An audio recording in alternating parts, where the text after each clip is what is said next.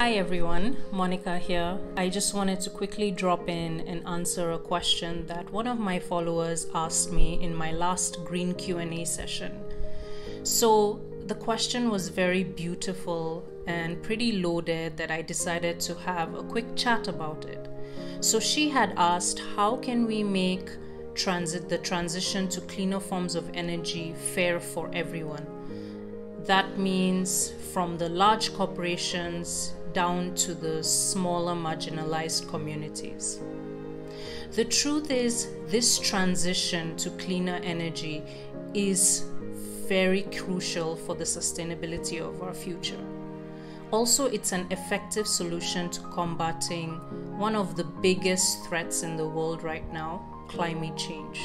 This fair transition will require a multifaceted approach, which includes careful planning, reinforcement of policies as well as implementations of plans. But the question is why? Why do we need to neglect or let go of fossil fuels and adopt cleaner forms of energy? Why?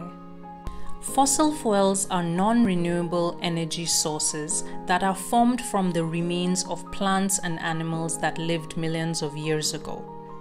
Now, we are all acquainted with the byproducts of fossil fuels, which are our um, petrol as well as diesel in our automobiles.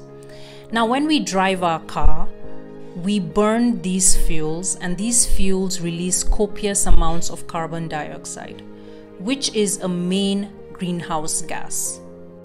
The Intergovernmental Panel on Climate Change, as well as the United Nations, have both released documents and annual reports, all pointing to the fact that burning fossil fuels contributes about 75% of our greenhouse gas emissions, thereby leading to global warming as well as the climate crisis. This is why you suddenly have a lot of countries, the governments, as well as corporations which are divesting from fossil fueled companies and focusing their research as well as their funds into renewable energy transition technologies that have minimal impact on the environment as compared to these traditional fuels. These cleaner sources are sustainable, renewable, and produce drastically less amount of greenhouse gases as compared to its traditional counterparts. So how can we strategize on a fairer transition for everyone? I have some ideas. In all my years working as a field biologist or climate educator, one thing that I have understood is the importance of public awareness and sensitization. It is so crucial for people to understand why a change needs to occur. Now, conservation, or in this case, energy transition, is, is going to be ineffective without education.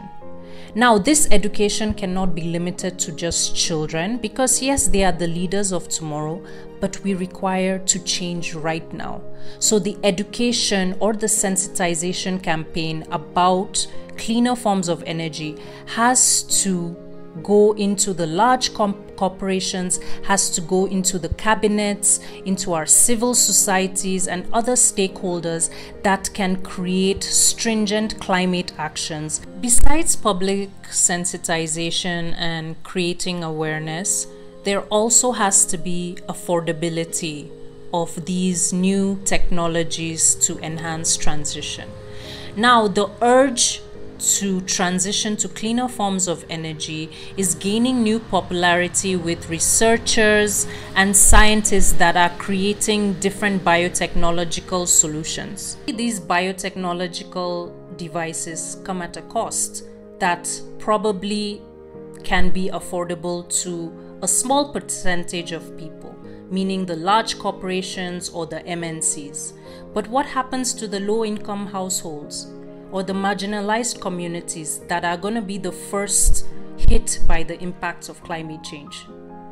This is where the government comes in, offering subsidies, financial supports, or agencies having grants that are given to local localized communities. These government subsidies as well as financial support given to the small smaller communities make transition to cleaner forms much fairer for everyone.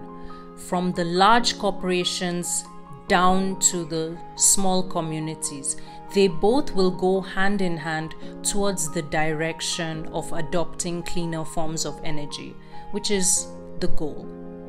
Another thing to note is that once governments, small communities, large corporations all begin to adopt clean this cleaner energy alternative, that will automatically mean that there has to be jo- some form of job creation, retraining programs, as well as upskilling workshops to be done. Now, these retraining programs will help personnel that have worked in the traditional fossil fuel industry to easily transition into the green energy industry. So, I have mentioned these three. In summary, I believe we need public sensitization, mass education. Then we also need the government to create subsidies for smaller communities to adopt these biotechnological solutions and three i also need i also believe that we need jobs to be created or some form of employment opportunities for people that want to leave that sector and have a place in the green energy industry so if you have any other any other comments or any other suggestions on what you think would be a good strategy to implement cleaner energy transition, you can drop it in the comments below and I'll meet you the next time to discuss three other points. Bye.